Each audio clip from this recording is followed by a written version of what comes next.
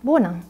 Îți rețin atenția cu această carte, care prin editorii săi este o creație inedită ce surprinde prin tratarea biblică a unor subiecte actuale ale realității contemporane. Cum titlul indică, subiectul adus în prim plan este căsătoria. Biblic, această instituție instaurată de însuși Dumnezeu pentru om, la creație, este pe viață și nu este de probă.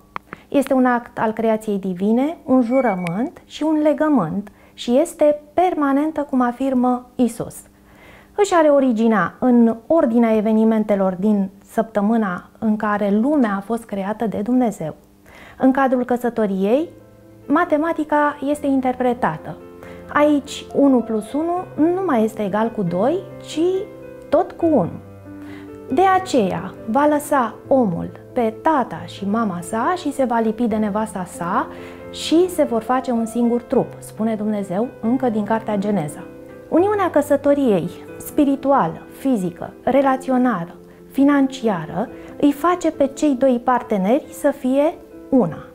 Căsătoria are un scop? Este ea un accident? Sau este răspunsul lui Dumnezeu pentru nevoia oamenilor de dragoste și de intimitate? Aceasta nu include incestul, poligamia sau alte forme de sexualitate nepermise de scriptură, de ceea ce spune Dumnezeu, creatorul oamenilor și a tot ceea ce este în jurul nostru. Dar pe ce se bazează căsătoria dintre un bărbat și o femeie? Pe dragoste.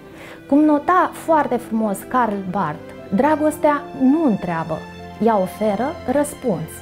Dragostea nu crede, ea știe, dragostea nu ezită, ea acționează. Dragostea nu cade în extaz, ea este gata să-și asume responsabilități. Dragostea lasă în urmă orice dacă și orice dar.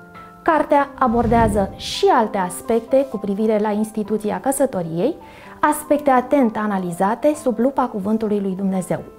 Vă stim și pentru citit!